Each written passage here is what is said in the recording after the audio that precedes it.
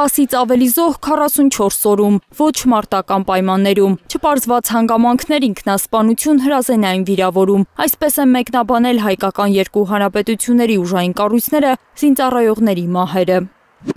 2020-ի թվերը մտահոգիչ են, բայց չեն ավելացել նախորդ տարիների համեմատ։ Ազգային ժողովի պաշտպանության եւ անվտանգության հարցերով հանձնաժողովի անդամ Արմեն Խաչատրյանի կարծիքն է։ Դեռևս թվի աճ չկա, որքանով ես տեղյակ եմ, թիվը գրեթե բոլոր տարիներին նույն կերպ պահպանվում է,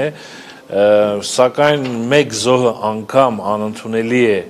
եւ պետք է ձեռնարկել բոլոր միջոցառումները, որպեսզի այդ մեկ զոհը անգամ չլինի բանակում։ Վարչապետը մեկ ամիս առաջ էր գրել 2019-ի ողևորիչ լուրը։ Բոլոր պատճառներով զոհերի թիվը այդ թվականի ընթացքում հասել է պատմական մինիմումի։ Ինչ է ասում երկրի ղեկավարը վերջին օրերի զոհերի մասին։ Մենք այստեղ պետք է շատ մինչև գենետիկ մակարդակում այդ խնդրեմը ախտորոշենք։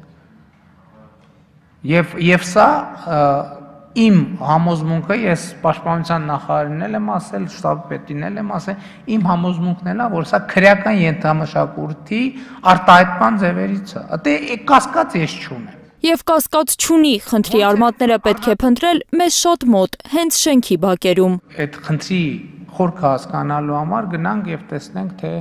մեր բակերում, մեր դպրոցներում, մեր երեխաները իրար հետ ինչպես են շփվում։ Պաշտպանության եւ անվտանգության հարցերով հանձնաժողովի անդամը համաձայն է, ոչ մարտական պայմաններում զոհերի թիվը խոսում է բանակում քրեական ենթամշակույթի արկայության մասին։ Այո, նպաստող պայման է հանդիսանում այդ քրեական մշակույթի արկայությունը զորամասերում եւ ընդհանրապես հասարակության մեջ։ Զորամասում չի կարող քրեական ենթամշակույթ լինել, եթե դա հանրության մեջ չլինի։ Բարգավաճ Հայաստան խմբակցության ղեկավարը կարծում է, պետք է պատժվողներ լինեն, որ իրավիճակ փոխվի, որ ծնողները որդիներին հանգիստ սրտով ուղարկեն ծառայության։ Անմիջապես պետք է ուսումնասիրվի, ովքեր մեղավոր են, ովքեր դրանց դրթողներն են, գոնե մեկին, երկուսին massական պետք է պատժվեն, թե չէ դուք պատկերացեք ծնողը ոնց կարող է իր երեխային պատրաստ ուղարկելու ծառայելու, բայց ոչ գնա երեխային ինչ աշճանի հասնեն, որ երեխան ինքնասպանություն գործենել, այս մոտորից որ հաճախակ է լինում։ Սա լուրջ խնդիր է եւ պետք է